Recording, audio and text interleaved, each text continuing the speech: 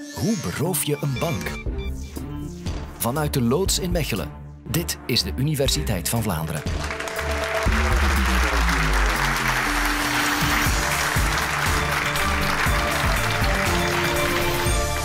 Het antwoord op deze vraag is eigenlijk verrassend eenvoudig. Om succesvol een bank te overvallen, wat moet je doen? Wel, je moet de menselijke zwakte uitbuiten van de personen die het geld bewaken. Ja, en je kan misschien denken van ja, dat is veel makkelijker gezegd dan gedaan. En het gaat u natuurlijk ook niet verbazen dat bij een bankovervallen dat daar heel wat bij komt kijken. Bijvoorbeeld, welke bivakmuts ga ik aantrekken? Waar ga ik die geweren vinden? En ja, waar, waar ga ik die vluchtauto zetten om zo snel mogelijk terug weg te gaan? Nu, al die praktische problemen, als we die willen oplossen, kunnen we misschien eens kijken naar uh, bestaande bankovervallen. En we gaan eens kijken naar de meest succesvolle bankoverval aller tijden. Die is gepleegd door Qusay Hussein, de zoon van Saddam Hussein. En die is erin geslaagd om maar liefst 930 miljoen dollar te stelen. Ja. Hoe heeft hij dat gedaan? Wel, die is simpelweg het bankkantoor binnengelopen en die heeft gezegd ik zou graag 930 miljoen dollar afhalen, maar het is niet voor mij, het is voor mijn papa. Dus uh, die, die bankbediende die dacht oei, oei, oei, Saddam Hussein, die maak ik maar beter niet boos. Dus wat heeft hij gedaan? Die is naar de kluis gegaan, heeft die opengedaan en heeft maar liefst vier uur lang al dat geld in het camionnetje van onze Kousei gestoken. Die hebben de handen geschud en hij is weggereden. Nu, niet iedereen van ons heeft zo'n handige dictator, papa. En dus moeten we misschien eens kijken naar uh, meer normale bankovervallen. En spijtig genoeg zit het beroep van bankovervaller niet echt in de lift. Als je nu een bank succesvol overvalt, dan kan je maar een luttele 5000 euro krijgen. Je denkt misschien 5000 euro, heeft een bank niet veel meer geld? En het antwoord is nee. Momenteel hebben banken niet veel geld meer, omdat, uh, omdat ze allemaal gedigitaliseerd zijn. Je moet niet meer naar de bank fysiek gaan om een overschrijving te doen. Je kan zelfs met je smartphone in een restaurant gaan betalen. En uh, al, die, al die voordelen die hebben natuurlijk ook heel veel voordelen als je een bankovervaller bent. Waarom? Heel simpel. Het aantal mensen dat toegang hebben tot het geld op de bank is gewoon massaal toegenomen. En dat is natuurlijk ook wat, uh, wat digitale bankovervallers doen. Nu, we hebben allemaal wel een idee van wat dat een bankovervaller is, die dat daar met een geweer staat, maar dat idee van een digitale bankovervaller, dat hebben we zo niet. Dus ik heb voor jullie eens opgezocht op Google Images hoe een digitale bankovervaller er zou moeten uitzien. Zoals je ziet, wat moet je doen? Je moet een muts opzetten, of een bivakmuts, een hoodie, en vooral heel mysterieus naar een computerscherm staren. Het zal jullie niet verbazen dat dat geen echte situatie is en dat echte bankovervallers er helemaal zo niet uitzien. En dus om jullie een ander beeld te geven van zo'n digitale bankovervallers, uh, ga ik jullie het verhaal vertellen van drie echte bankovervallers. Namelijk Kevin, Katrina, uh, Christina en Moran. Ja? En we gaan, beginnen, we gaan ons verhaal beginnen bij Kevin. Kevin is eigenlijk een trendsetter, want hij heeft een aantal technieken uitgevonden die uh, andere bankovervallers momenteel massaal uh, hergebruiken. Zijn verhaal begint al op jonge leeftijd. Op 13-jarige leeftijd is hij erin geslaagd om gratis met het openbaar vervoer te gaan. Hoe heeft hij dat gedaan? Wel, hij is naar zijn buschauffeur gegaan en hij heeft gezegd ja, voor, uh, voor mijn schoolproject zou ik graag zo die terminal hebben die de ticketjes valideert. En die buschauffeur die was heel behulpzaam en heeft hem dat gegeven. En op die manier is hij er dus in geslaagd om gratis met het openbaar vervoer te gaan. Zo een verhaaltje vertellen om gevoelige informatie en in zijn geval zelfs een heel toestel te krijgen, dat noemen we social engineering. En dat wordt vandaag de dag massaal toegepast.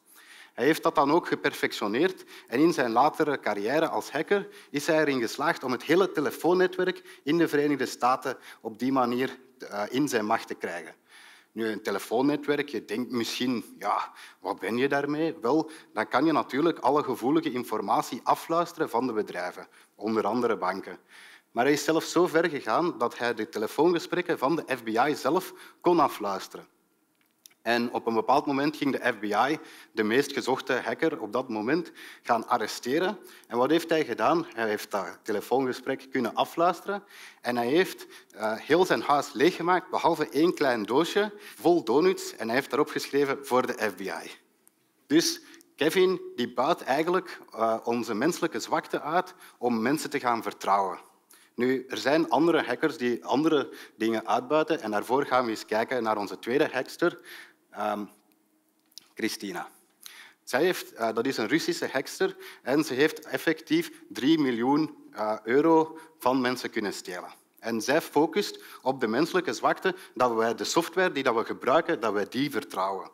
Dus als, je, als, je, als we eens kijken wat er juist gebeurt als we met een bank communiceren, wel, die, die browser, uh, dat is een stukje software en de meeste mensen vertrouwen die blindelings. En uh, voordat ik ga uitleggen hoe dat ze erin slaagt om die, uh, om die browser aan te passen, zodanig dat het doet wat zij wil doen, gaan we eens kijken of de mensen hier in het publiek een frauduleuze website kunnen detecteren. Dus dit lijkt heel hard op de website van Fortis. Ziet er iemand iets raar aan deze website? Als je iets raar ziet, dan mag je je hand omhoog steken. Ja, één persoon. Oké. Um, we, gaan, we gaan eens kijken. Wat er hier mis is, is het logo. Ja, je denkt misschien, oh, dat had ik niet gezien, VPN, Paribas.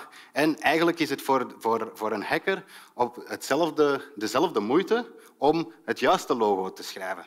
Ja, laat ons eens kijken um, naar de volgende website. Dus dat is nog altijd niet de website van de Fortis. Er is nog altijd iets heel erg fout aan deze website. Maar wat we hier zien in de URL, zien we dat er wordt verbonden wordt met de server volgens HTTP. Ja, HTTP, wat wil dat zeggen? Wel, dat is een protocol dat, u, dat, de, dat de browser gebruikt om berichtjes naar je bank te sturen. En uh, je kan dat op verschillende manieren doen, zo berichtjes naar de bank sturen. Als we gebruik maken van HTTP, dan wil dat zeggen dat als we een paswoord sturen, dat iedereen dat onze data kan onderscheppen, heel makkelijk die data kan zien. Ja? Oké, er zijn natuurlijk andere manieren om dat te doen. En als we gaan communiceren met een bank, dan gaan we dat doen over HTTPS. Dus als we de echte website van Fortis zien, dan zien we dat daar niet HTTP staat, maar dan staat daar HTTPS.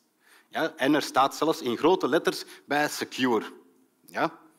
Nu, secure, uh, in dit geval, wat wil dat juist zeggen? Dat wil eigenlijk niet echt veilig zeggen.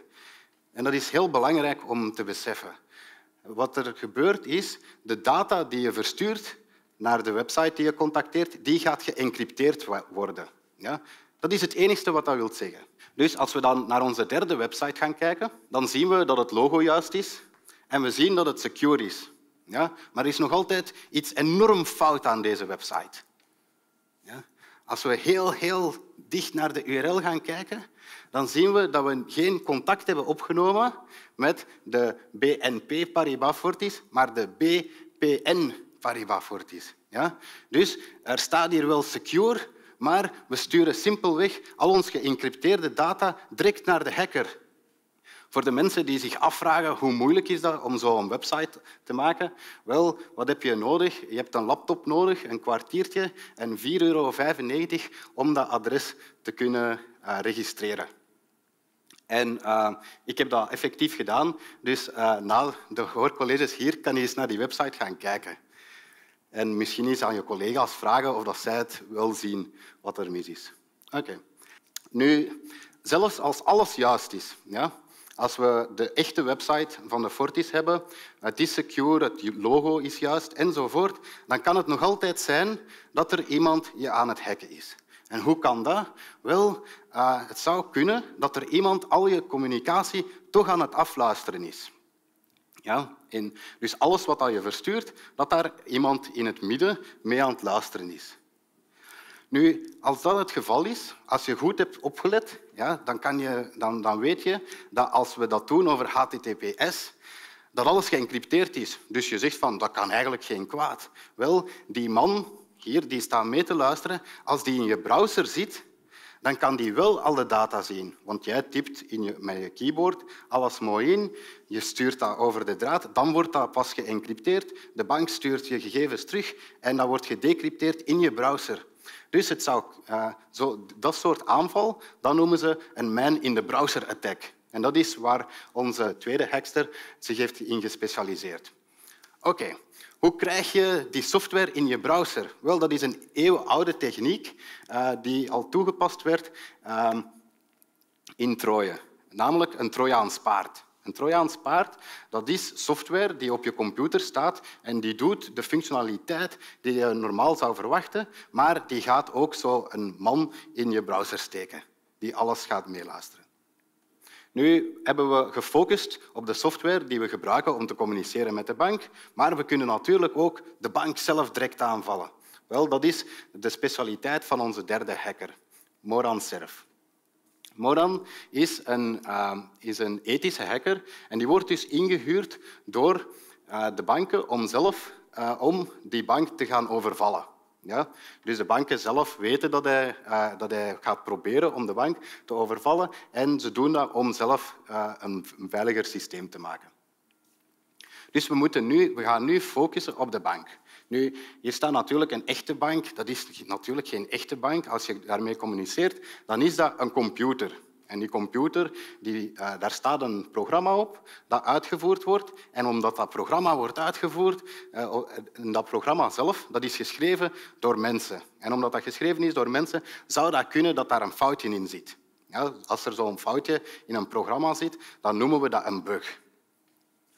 Nu, um, waar onze hacker zich heeft in gespecialiseerd, is een bepaalde bug die uh, toegang uh, tot de bank gaat verlenen. En die bug die noemt een buffer overflow attack. Deze buffer overflow attack staat hier op een simpele manier uitgelegd. Aangezien dat het een klein beetje technisch is, ga ik, maar ik ga toch proberen om alles mooi uit te leggen aan jullie. Ja, ik ga geen buffer overflow attack uitleggen, maar ik ga een butterflow attack uitleggen. Ja, dat is iets simpeler. En waarom ga ik dat doen? Wel, programmeren en koken hebben heel veel met elkaar gemeen. Je hebt, uh, bij programmeren heb je de invoer, bijvoorbeeld je paswoord dat je stuurt naar de bank. Dan heb je een programma wat een reeks van instructies zijn die exact zeggen wat dat je computer moet doen. Ja?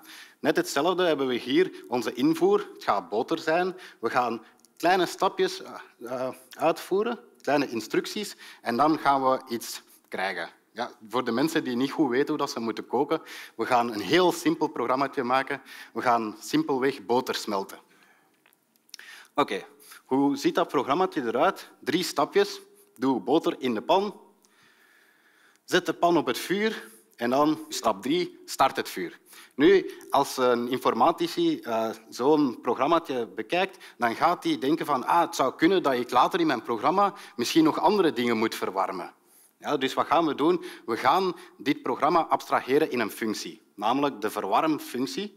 En we hebben dit geabstraheerd in een functie verwarm. Die neemt een parameter x en die gaat exact hetzelfde doen als het programma dat we daarvoor hadden. Want nu roepen we de functie verwarm op en die gaat net hetzelfde doen. Wat hebben we nu gewonnen? Wel, als we later in ons programma bijvoorbeeld olie willen verwarmen, dan moeten we gewoon één regeltje toevoegen en dan kunnen we olie verwarmen. Oké. Nu, als we, uh, als we dit programma laten uitvoeren door de computer, dan gaat die uh, beginnen op lijn 4. Ja, we hebben de definitie van die functie ingelezen. We gaan beginnen op lijn 4 en dan gaan we die functie oproepen. Nu, er gaan heel veel dingen tegelijkertijd gebeuren. We gaan springen naar de functie zelf, maar we gaan ook moeten onthouden waar we naartoe moeten gaan eens we die functie hebben uitgevoerd. Ja? En in ons geval gaat dat zijn naar lijn 5, verwarm olie. Dus we houden een stapel geheugen bij waar we bijhouden waar we naartoe moeten gaan. Dus in dit geval moeten we naar lijn 5 springen nadat we gedaan hebben met de verwarmfunctie. Dan gaan we de boter verwarmen, we stappen daardoor en dan op het einde, wat gaan we doen? Wel, we gaan kijken naar dat stapelgeheugen en we gaan terugspringen naar verwarmolie. Nu, het programma dat ik tot nu toe uh, getoond heb, dat is, eigenlijk nog niet, uh, dat is eigenlijk nog niet gedetailleerd genoeg voor een computer om dat effectief uit te voeren. Namelijk, uh, waar komt die pan vandaan? Ja? Een computer die doet exact wat je zegt. En dus moeten we ook zeggen van voorzie een pan. Oké, als we dat programmaatje uitvoeren, wat gaat er gebeuren? We gaan opnieuw springen naar de functie. Op het stapelgeheugen gaan we onthouden waar we naartoe moeten gaan eens we gedaan hebben met het uitvoeren van uh, die, deze functie. Dat gaat in dit geval lijn 6 zijn. En dan gaan we naar die instructie komen verwarm pan. Nu, het is natuurlijk een analogie, maar die pan in een computer is dan natuurlijk een stukje geheugen. Waar staat dat geheugen? Namelijk hier op het stapelgeheugen, onze lege pan. Onze lege pan, ja, dat is misschien nog niet genoeg. Eigenlijk moeten we een pan voorzien van een bepaalde grootte. Ja? Dus hier hebben we een pan voorzien met een aantal celletjes en om aan te geven dat die allemaal leeg zijn, hebben we daar nu een nul ingeschreven. Als je het programma op een normale manier gebruikt en je geeft vier eenheden boter mee en je doet die in de pan, dan gaan we zien dat die daar in de pan komt. Ja? Nu, natuurlijk, we zijn bezig met een hacker en die hacker die controleert de boter. Dat is de invoer die hij geeft aan het programma. Stel dat, die, uh, dat onze hacker veel te veel boter in de pan doet. Wat gaat er gebeuren? Wel, de computer gaat simpelweg blijven overschrijven. Waarom? Omdat we een klein foutje hebben gemaakt. We hebben niet nagekeken of dat de boter die in de pan gedaan wordt uh, niet te groot is voor onze pan. Ja? Dus wat hebben we hier gezien? We hebben gezien dat hier beetjes allemaal worden opgevuld en ook hier op deze plaats is, staat er nu ook een B. Wat stond daar? Wel, daar stond waar dat we naartoe moesten springen nadat deze functie gedaan heeft met uitvoeren. Dus als we dit programma zouden uitvoeren, dan gaan we ineens naar boter springen en je computer gaat simpelweg crashen. Nu, als we een iets slimmere hacker hebben, dan gaat hij daar op deze plaats geen B schrijven, maar een getalletje dat hij controleert. Dus als hij hier nu 13 had geschreven, wat gaat er gebeuren? Wel, we gaan verder in ons programma en dan gaan we zien naar waar we moeten springen nadat de functie heeft gedaan. Nadat de functie gedaan heeft. Dus waar gaan we naar springen? Naar het begin van onze pan. Opnieuw uh, code die gecontroleerd wordt door onze hacker. Ja, dus als we hier B schrijven, ja, dan gaat de computer opnieuw crashen. Maar het is natuurlijk op deze manier dat onze hacker hier een programma zou kunnen geschreven hebben die bijvoorbeeld geld van je rekening steelt. En dat is de manier waarop dat, uh, heel veel van de security flaws uitgebuit worden om banken te overvallen. Om te eindigen, hoe beroof je een bank niet meer met wapens, maar simpelweg met een computer? En ik hoop dat ik hier vanavond niemand op slechte gedachten heb gebracht om effectief een bank te gaan overvallen. Maar ik hoop wel dat jullie de digitale wereld nu een klein beetje beter begrijpen, zodanig dat jullie geld op zijn minst al iets veiliger is. Bedankt.